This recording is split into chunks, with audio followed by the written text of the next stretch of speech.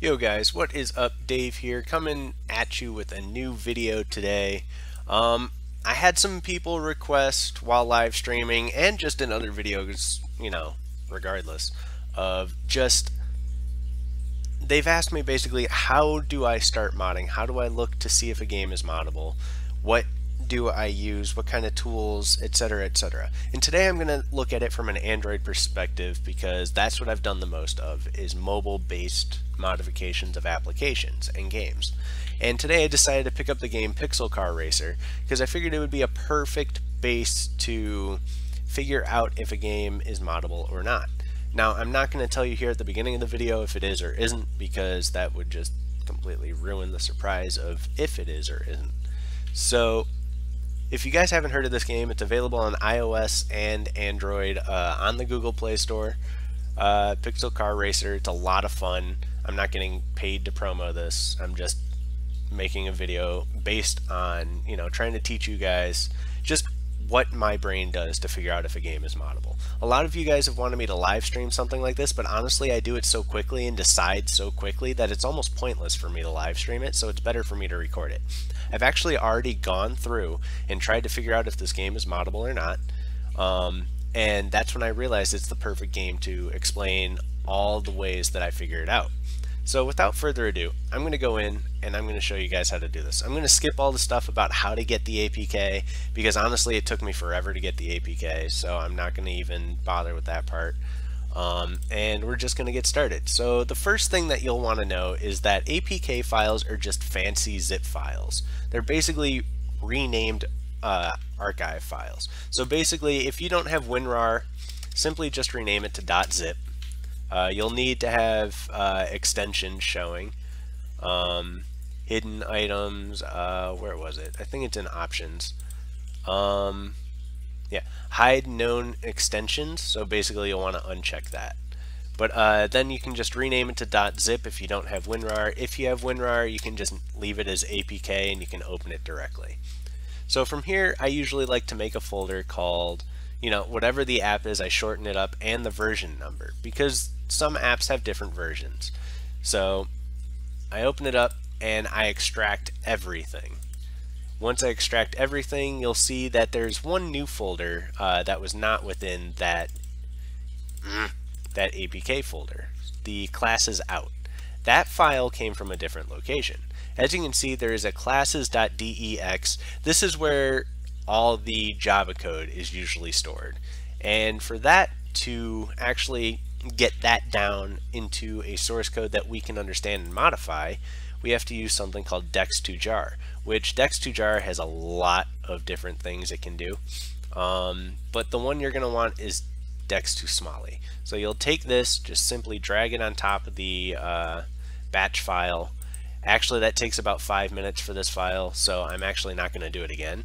But it'll extract it, and it'll give you these .smali files. These files are kind of important, kind of not. They're not really big deal. There's not much that you have to worry about with them. And then that's when I came to realize that opening it up this way was actually kind of pointless. There was no reason to extract the classes.dex because there's actually no code for the game in the classes file. So from there I decided to check and see if it was Unity 3D based. And no, it's not. As you can see, there is like a product list. There's an INI file right here. Um, and then just some sound files and the splash screen and a portrait splash screen. And then there is this, you know, the music for the game. And there's this GMEZ file and the droid file. Now I'm going to show you how I figured out if this was actually extractable with WinRAR. So what I did was I went and opened with a hex editor. I use HXD and you can usually tell what kind of file a file is by looking at its first two bytes. First two to four usually. And on 7Z files, which are, uh, you know, they're a type of compressed uh, archive file, just like zip or rar, um, this is obviously a 7Z. So that means it's just highly compressed files. There's not much you could do in here. You can't read this. But if you have WinRAR or 7-zip installed, you can just open it right up with uh, WinRAR. So I usually make a new folder. My chart boost, and I'll extract this stuff. I didn't do this when I was originally looking at it, so I'm going to do it now.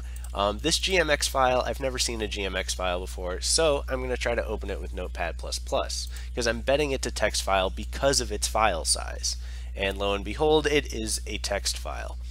Now, there's not really anything special in here to modify, so that's not anything to worry about. And then from here we can see there's Android source, iOS source, iOS source from Mac. Uh, this stuff isn't really important. I already looked at it. It's just some basic stuff. This code probably honestly isn't even ran and it was just accidentally left in the APK because this stuff doesn't do anything. It's just some iOS code, some Android code. It's something that doesn't do anything. It's not something I would worry about. I'm betting this is a text file. It's a very big text file. I'm sure you can do something with this, but I'm not sure what it is. If it is called and modified by the game engine. But I feel like this isn't... Oh, this is a very big folder. I actually missed this one at first. Header files. Hmm. This actually might be something important. Wow, that's a big file. That's got to be an archive file. So this is just how I figure things out. That's why I left this one folder kind of here without modifying it. Do not know what kind of file this is. This does not have the standard of what you would see. It looks like it's a fully encrypted file. Maybe it's like an iOS based file. Looks like maybe it's something to do with the game itself, seeing as there is some plain text in here in the hex editor that is actually readable. But I do not recommend modifying it because it will probably break it uh, and it will not allow the game to run if it is reading anything out of this uh, GMEZ file. But as far as this stuff goes, close this stuff up. It looks like this is just analytic stuff, which is basically advertising within the app, like tracks in-app purchases and stuff like that. Uh, in play, let's see what this is. I don't know why I tried to do it that way. Oh, that's for my PSP. Oh wow, I should check my Skype more often. Three messages. Yeah, this is just uh, some basic stuff for like in-app purchases and stuff like that. So it doesn't look like this is anything too important as far as I can tell. Uh, let's see what's in current. Yeah, that's just the current source code. Yeah, there's nothing important in here, unfortunately. So we can just basically ignore that file. Now, when it came down to it, I realized that probably 90% of the game is actually going to be within this .droid file. I've never seen a .droid file before. So my first thought was, eh, they just renamed another zip file, and I didn't even bother to check it within the hex editor. Lo and behold, it is not a rename zip file. So I opened it up in the hex editor, and it is a form gen file. Never heard of a form gen file. Uh, this must be I'm not sure if this game is created on some sort of game engine that I just don't know about, or if it's something else. But clearly you can see that it is a compressed file. This is a sprite file right here. Um, looks like we can search PNG for example and it'll show me that there are in fact image files in here. There's definitely wave files in here uh, wave format right here, RIFF, list info and stuff like that. So that's going to be a sound effect file. So this is a compressed file. It's just not sure really what it holds. I'm guessing it holds some sound effects. It holds all the images of the cars, uh, holds the sprites and things like that. But I have no idea how to pull this apart. So that's pretty much where it's stuck for trying to modify this game is not sure how to pull this file apart.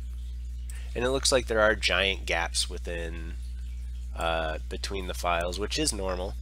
As you can see, this is just another wave format file. I'm guessing, I'm not sure, it's been a long time since I messed with hexadecimal and actually looked at like a wave file format in hexadecimal and I'm not sure where the file ends. But a good way to find out is usually just copy open up a new tab, paste it. It'll tell you that, and then you can save it. Now we can do just untitled1.wave because we know it's a wave formatted file. So we can try to manually extract this and see what it does and then we can just open it up in VLC. Doesn't do anything. So apparently maybe there is some compression on the files but it just says the uh, file type at the top or I missed something and I just don't know what I missed. But that's pretty much where it's stuck right now for modifying this game. I would love to be able to add body kits and stuff like this, like that to this game. Maybe modify the parts, that would be really cool. Because like if I wanted to, which I doubt this is going to work because it feels like it's all encrypted and stuff like that. I could actually try to find like the names of parts or something like that because this is a 15 megabyte file which means 15,000 bytes each one of these is one byte, pretty much. Well, I guess. Sort of. It's hard to explain. I suck at explaining that kind of stuff. But what I'm going to do is I'm going to open the game. I'm going to go to the dealership. And I'm going to look... Doesn't look like... Well, it doesn't show the names of cars. So actually, I'm going to go to the part shop because it shows part shop names and we are going to see if there is anything to do with parts like the actual names of them within this source code. So what we're going to do is we're going to search VX. So first off we get that. Yeah, that's not what we want. So we're going to try from there, we're going to go T28 because that's a turbo. So let's just search T28 at that point. Not in here either which is kind of surprising because of how hexadecimal works. Um, we're going to search part. Well, it looks like the names of the files are in here, which is good, but that also means that this is probably a custom formatted uh, zip file, which means we can't modify it. But it does look like I was right. It does have all this stuff in here. This is all the files that are in here at the moment. Um, it's just there's not really anything I can do with it that I know of. So we're going to search like PSI. That's not what we want, not what we want, not what I want. What I'm trying to find is, you know, like the stats of the cars, for example. I feel like this kind of stuff is actually going to be listed somewhere else. This is probably going to be in a different file, so I'm looking in the wrong place. But it looks like this could be extracted. We just got to figure out what kind of file type that is and find the way to extract it. But from here, we're going to move on to the last really important location. And we're going to see how this game is actually coded. And usually when it gets to this point, this is when I personally don't bother modding it. Because this is honestly above anything that I know actually how to do. Like when it be when it comes to it. And as I thought, this is uh, compiled in a .so file. So all the code and all the important stuff is going to be in this file for the game. Now that's that's modding, that's over my head. I don't feel like doing that and learning it is just a pain in the ass.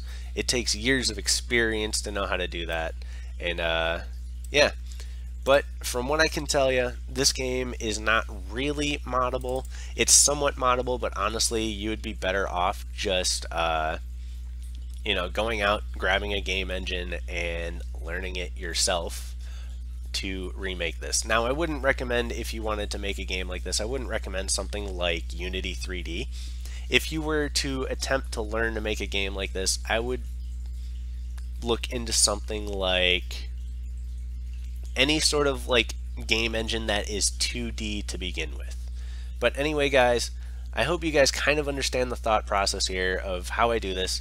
Honestly, when it comes to the hexadecimal, which is what people have asked me about the most, actually, um, it takes just understanding files, understanding file types, um, knowing what to look for, and all of that.